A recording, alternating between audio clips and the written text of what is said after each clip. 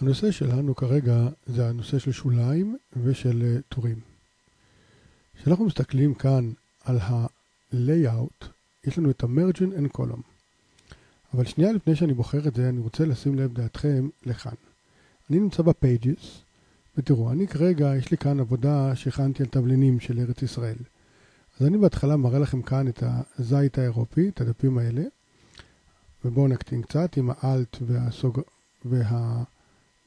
עכבר, לגלגל את העכבר.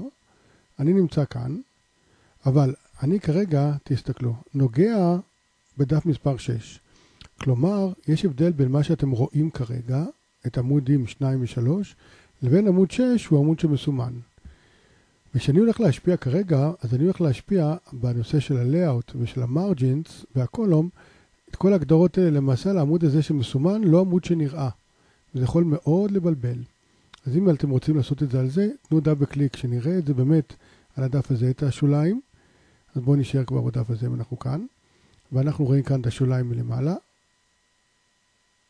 אוקיי, אני טיפה אקטין את הדף, משהו שכזה, נהדר. עכשיו בואו נראה איך אנחנו באמת יכולים להשפיע על ה-margins. אז זה העמוד שאנחנו רואים, וגם זה העמוד שמסומן כאן. אנחנו ב-layout וב-margin and columns.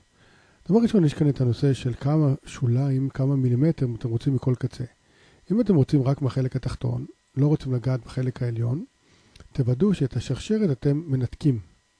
ואז למעשה אין קשר, כל אחד מהפרמטרים משתנה באופן עצמאי. אם זה היה מסומן בצורה שכזאת, למעשה כל הפרמטרים גם יחד משתנים. אז אנחנו כאן, ואני מגדיל טיפה את השול... אתם רואים כאן את ה... באמת, את ההשפעה רק על העמוד הזה מתחילה לעלות למעלה. של השוליים.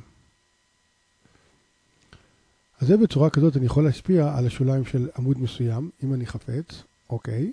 אם אני לא רוצה עמוד מסוים, אז אני יכול לגעת כאן בעמוד מספר 2, Shift, עד לעמוד מספר 6. למעשה, סימנתי כאן את כל ששת הדפים.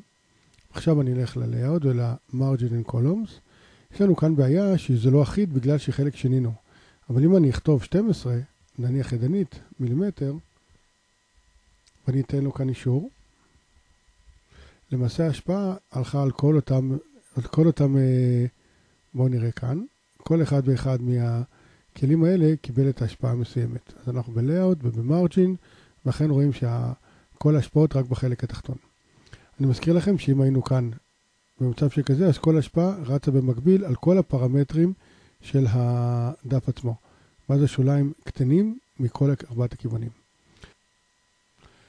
על טקסט שכבר קיים לכם במערכת, אתם יכולים בעזרת לחצן ימיני בעכבר, לבחור כאן את הנושא של text frame, או control ו-B, ולהגדיר כאן את המספר הטורים ואת ה gutter, כמו שראינו מקודם.